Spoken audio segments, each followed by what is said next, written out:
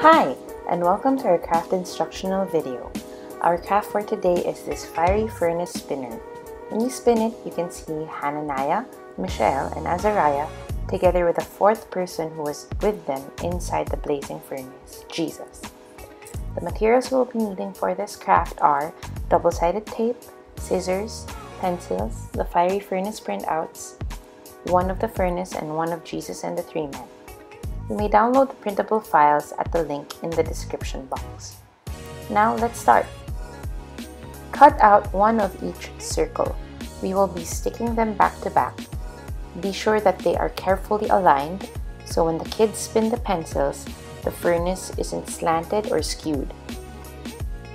I found it easier to align the circles by taping and aligning the top portion first.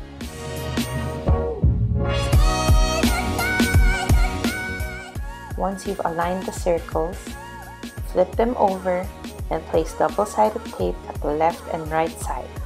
Leave the bottom open as we will be inserting the pencil there later.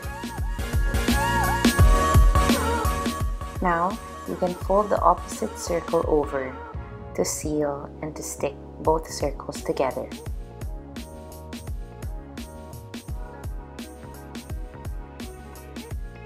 And now, we have a properly aligned spinner top for our craft. Remember, the bottom portion should be open.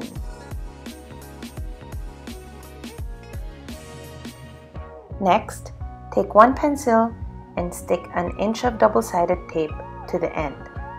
Make sure to cover the whole circumference.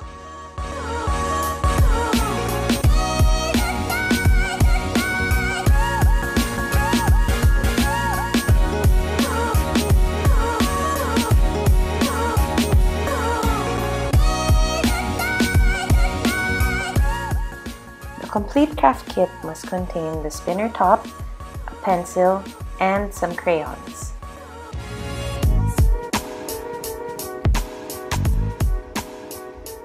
Ask the kids to color the spinner top in any way they want.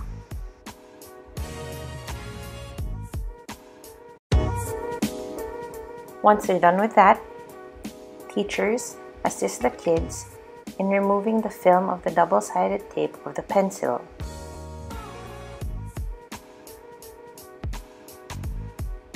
And help them stick the pencil inside the spinner top. Press firmly so the inside stick to the double-sided tape.